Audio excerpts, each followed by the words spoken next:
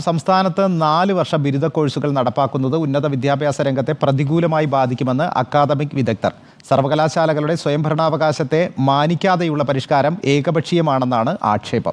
പുതിയ രീതി പ്രകാരം ഒരു വിഷയത്തിലും ആഴത്തിലുള്ള പഠനം സാധ്യമാകില്ലെന്നും വിമർശനം ഉയരുന്നുണ്ട്. സംസ്ഥാനത്ത് ജൂലൈ ഒന്നിന് നാലു വർഷ ബിരുദ കോഴ്സിന് തുടക്കമാവുകയാണ്. ഇതിന്റെ പശ്ചാത്തലത്തിലാണ് അക്കാദമിക് രംഗത്തെ വിദഗ്ധരും സാംസ്കാരിക പ്രവർത്തകരും എതിർപ്പുമായി രംഗത്തെത്തിയിരിക്കുന്നത്.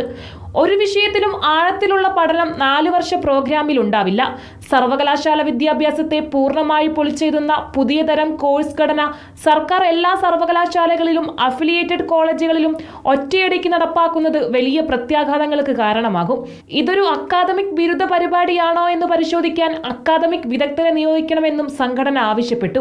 കോഴ്സിലൂടെ കലാലയങ്ങളിലെ അന്തരീക്ഷത്തെയും ജനാധിപത്യ ഘടനയെയും പ്രതികൂലമായി ബാധിക്കും.